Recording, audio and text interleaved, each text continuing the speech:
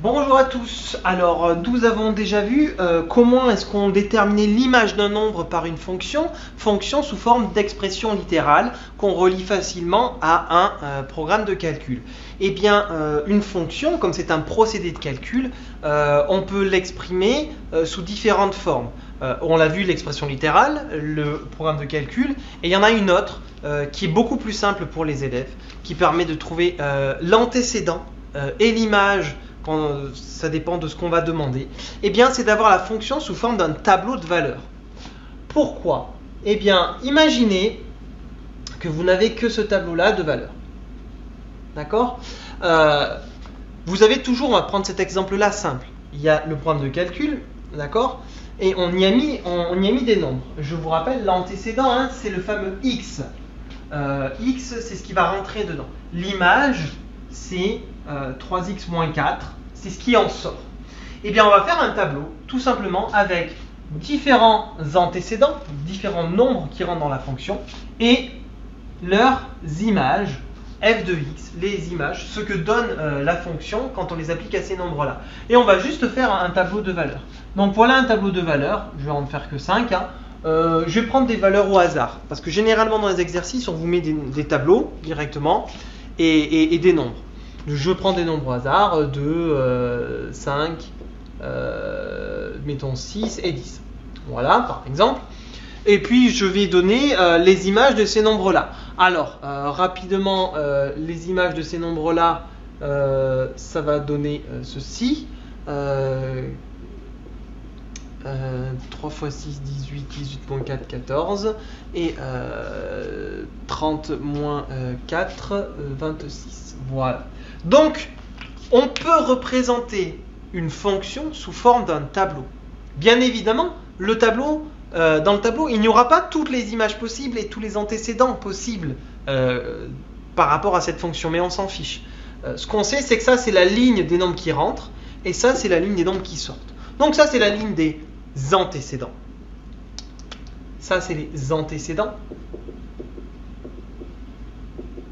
Et ça, ce sont les images.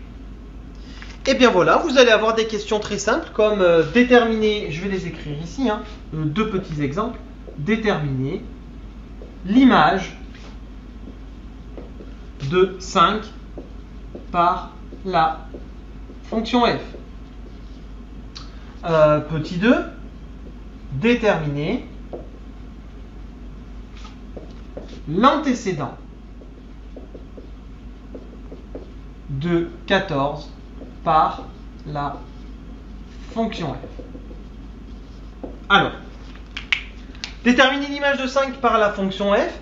Euh, finalement, on, l'avait déjà fait dans la précédente vidéo et si on regarde ça, ça se fait euh, en, appliquant avec l'expression ou programme de calcul. Mais il n'y a pas besoin de, faire ça. Il suffit juste de regarder le tableau. Euh, je cherche, je cherche l'image de 5 par la fonction f, l'image de 5. Euh, ça veut dire quoi? Bien, ça veut dire que 5, euh, c'est un antécédent, euh, c'est le nombre qu'on rentre dedans. Donc je vais lire 5 sur la première ligne, elle est là, et ça me donne 11. Ben voilà, c'est tout, il faut juste savoir lire un tableau. Et donc l'image, l'image, je vais l'écrire ici en rouge, hein, l'image de 5 par la fonction f. Alors évidemment, hein, si je fais des phrases c'est pour avoir la maîtrise exceptionnelle, comme toujours. Il hein. faut faire de vraies phrases, l'image de 5 par la fonction f et 11. Ouais, tout simplement. Et là, petite nouveauté euh, pour vous, puisqu'avec l'expression on ne vous demande pas de déterminer les antécédents, on verra ça euh, plus tard dans l'année avec les fonctions affines et les fonctions linéaires. N'ayez pas peur de ces mots-là, vous verrez, c'est très simple. Euh, déterminer l'antécédent de 14 par la fonction f. Ben oui, à partir du moment où vous savez ce qui sort, on peut retrouver ce qu'on a mis dedans. Soit en remontant le programme de calcul, j'ai 14, j'avais enlevé 4, donc je lui rajoute 4. J'avais multiplié par 3, donc je divise par 3, je remonte. Et je retrouve l'antécédent, donc le nombre qu'on avait eu au départ. Mais avec le tableau, c'est tout simple. Puisque je, dois déterminer l'antécédent de 14, c'est que 14, c'est une image. J'en cherche l'antécédent. Donc je vais dire 14 sur la ligne du dessous, la ligne des images, et l'antécédent, eh bien c'est 6. C'est tout, il n'y a que ça. L'antécédent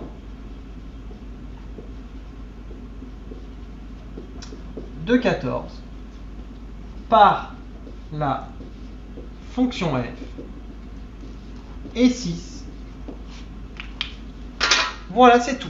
L'astuce consiste tout simplement à dire on me demande l'image de quelque chose. C'est que le quelque chose qui est dans mon énoncé, c'est l'antécédent.